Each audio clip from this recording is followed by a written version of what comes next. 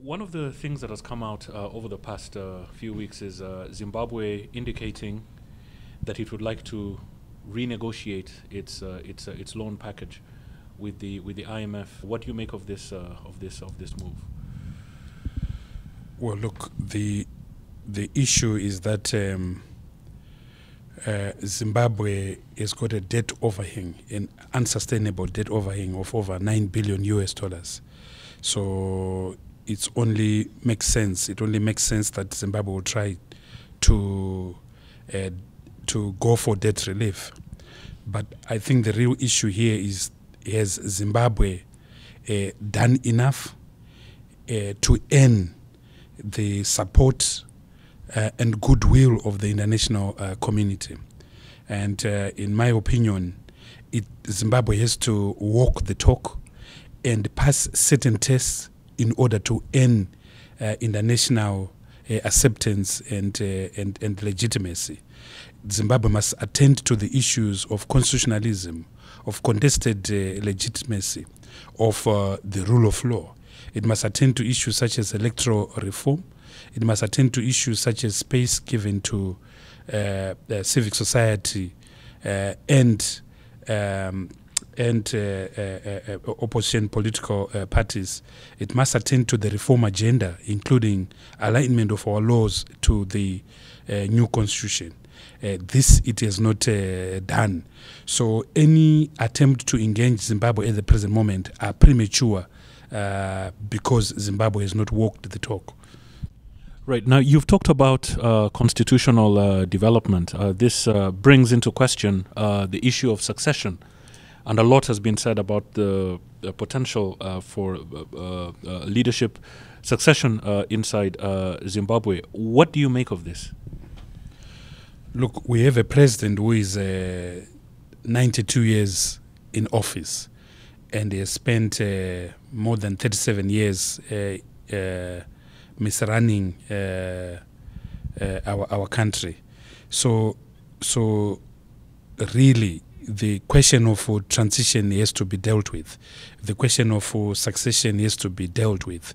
But regrettably, this state, like most African states, does not have the machinery, the experience uh, of dealing with uh, succession. So, one of the stress points right now has become how Zimbabwe is going to transit uh, from Mugabe to a de- democratic uh, dispensation. My suspicion is that if we don't do it well, then we'll have a, yet another instance of uh, a delayed transition or an arrested transition. And that's the danger that Zimbabwe faces at the present moment. So, what would you identify as the larger uh, democratization uh, challenges that would have to face any um, uh, potential uh, successor, irrespective of who it is? I think that uh, beyond Mugabe, uh, Zimbabwe must uh, consider, and the international community and the regional commun- community must consider this as an opportunity for Zimbabwe to renew itself, an opportunity for Zimbabwe to restart itself. And I think there are about eight critical issues that uh, uh, that transitional process uh, after Mugabe must deal with. I think the first thing is just the maintenance of uh, uh, uh, peace and stability. We've always taken uh, peace and stability and the sovereign integrity of Zimbabwe uh, for granted. But there are obvious threats right now that we could have an war, we could have an implosion.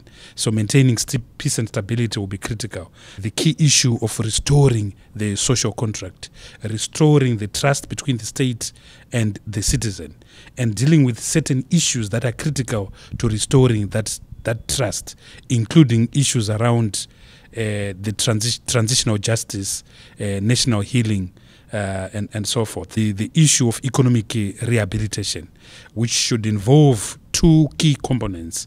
One is an emergency recovery fund for Zimbabwe, and the second is dealing uh, in a holistic manner with Zimbabwe's. Uh, uh, overwhelming uh, debt uh, uh, uh, crisis, uh, restoring supply side uh, recovery and macroeconomic uh, uh, stability, uh, completing the unfinished business of constitutional reform.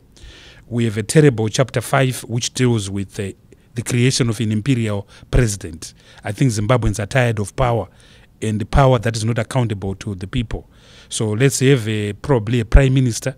Let's have constitutional amendment that create a prime minister who is elected by parliament and accountable to, to parliament. The American model of a powerful executive president has not served Zimbabwe well, nor Africa well in general. Our electoral system is part of constitutional reform. We have this winner take all first past the post uh, uh, system which again has created a political monopoly and at the very minimum a duopoly. I think we need to liquidate that by introducing a proportional uh, representation so that we have multiple voices uh, in our national assembly. It's the issue for realigning our laws uh, to the uh, to the new constitution so you, you have a progressive constitution there but laws are still lagging behind. Uh, the key question of uh, electoral reform standing on its own, we need a biometric uh, voters roll for, for a start that is in electronic form. We need a new, brand new electoral act. We need access to our elections by the international community, including the UN and UN agencies. Uh, we need uh, media reform so that there is equal access to the media uh, by all parties. We need uh, uh, traditional leaders and other forces to be kept out of our, our, our election. Uh, next, the issue of Zimbabwe's re-engagement. Zimbabwe can't afford to be isolated and it needs a foreign policy that looks uh, neither west, east or south but just forward. Uh, it's a tiny little country so it needs to make friends and make friends with every four corners uh, of uh, the, the, the globe. So that will be critical. Uh, next, we need to put a full stop to the land question. Uh, 20 years after the land reform program, the land question still dodges uh, Zimbabwe. We used to be the breadbasket of a region of the region. Now we are a, a, net food importer, and there are certain things that we need to deal with. Restore the land uh, market. We need to stop continuous farm invasions and lawlessness uh, on farms. We need to deal uh, with the issue of full compensation to those that uh, lost uh, their land during the land reform exercise. And then we need to deal with the issue of a land audit, an independent land audit, to fret out the multiple farm owners that are clogging uh, the system. We need to deal with the agriculture revolution coming up with a proper model for agriculture that is market based and in respect of which farmers can maximize the value uh, of their land. And then lastly, uh, we need the issue of security sector, security sector reform uh, and security sector realignment. We have a constitution that says uh, the securocratic uh, arm of the state must be independent and neutral, but that's not uh, the position. So we need security sector realignment. So those things are critical in a post-Mugabe uh, uh, era to uh, to put Zimbabwe and place Zimbabwe in an irrevocable pathway of sustainability. Otherwise, we'll continue to be a fragile state with 79% of the population surviving on less than US $1.25 a day, and that's not good enough. Indeed. Now, um, uh, Honorable Biti, you um, talked about uh, all these elements that need to be in place security sector reform, constitutionalism, the electoral system uh, reform as well. In 2002, to, uh, 2002 2003, uh, the African Union agreed, um, adopted, in fact, a charter on uh, elections, democracy, and governance, and certain benchmarks were identified. This was an African project. Um, how what what are the prospects? Um, you know, looking at this charter and looking at the African continent as it is, what are the prospects uh, that some of these uh, benchmarks uh, might be achieved, and what are the constraints that you see moving forward? I think that um, the short-term future of the African continent uh, is very bleak, and it's bleak precisely because of uh, the crisis of leadership that we have on the continent at the present moment in time.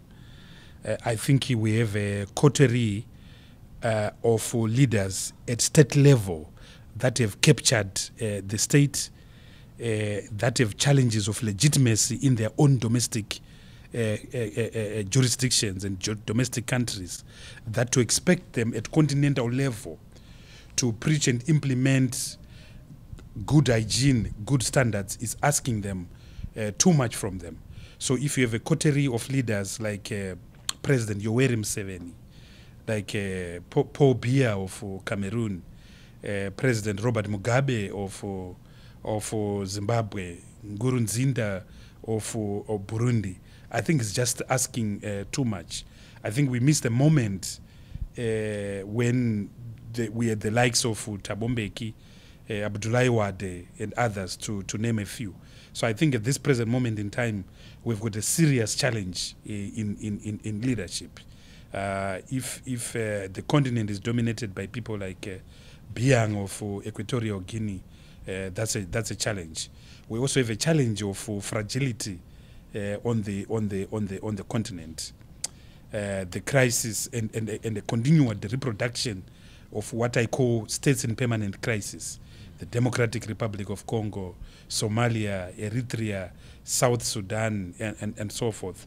So I think at the present moment, um, the continent is in retreat, uh, and I think that uh, we have to deal with this uh, leadership uh, deficit that is arresting the continent at the present moment. Okay. Well, uh, with that, thank you very much. Thank you very, very much.